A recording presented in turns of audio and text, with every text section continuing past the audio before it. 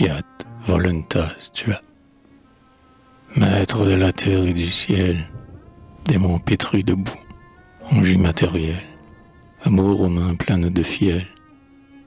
Je n'ai pas résisté quand ta voix souveraine m'a crié Descends dans l'arène, lutteur que je verrai mourir l'âme sereine. Où faudre mon front s'est offert, il a fallu saigner, et mon flanc s'est ouvert. Tu m'as dit Souffre, et j'ai souffert.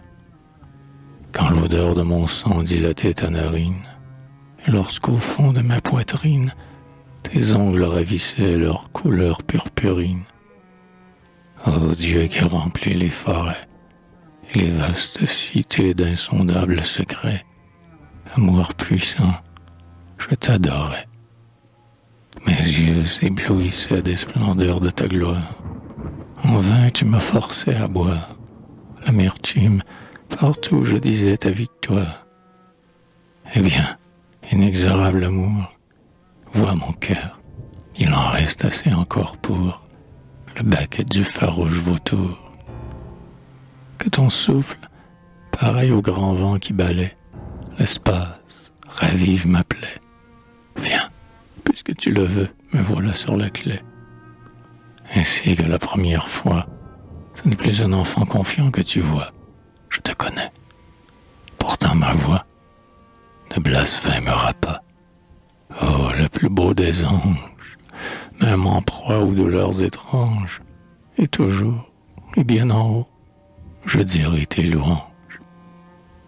Le retour de tes javelots, je le veux célébrer en épandant les flots de mes harmonieux sanglots. Déjà j'ai chancelé sous ta nouvelle atteinte. Je sais où ta propre fut teinte. Seigneur, c'est dans mon sang et mon oreille teinte. Et comme un cortège de loups, j'entends, j'entends hurler tous les soupçons jaloux. J'ouvre les mains, planter les clous. Bourreau divin, auguste oppresseur de mon âme, oh, maintiens-moi sur l'arbre infâme me suis repris au parfum de la femme. Car l'enchanteresse Circé pose d'un air vainqueur sur mon front abaissé son pied par les roses froissées. Et je sais que jamais, idole puérile, fille vaine, terrain stérile, elle ne comprendra ma passion fébrile. Ah, pourquoi la vouloir toucher mais la vague, pourquoi vient-elle donc lécher inutilement le rocher? Pourquoi la pluie au sable et la rosée aux pierres? Et pourquoi les clartés altières vont-elles de l'aveugle arroser les paupières? Et que vous dirais-je après tout? J'aime et je ne sais rien de plus, et mon sang bout, et je pends mes lèvres au bout. Dessin aiguë lourd de la folle chimère comme il plaît aux victimaires, j'épuise le nectar ou la liqueur amère. Je me sens attiré vers un fatal miroir, un miroir grimaçant qui me laisse entrevoir les voluptés du désespoir.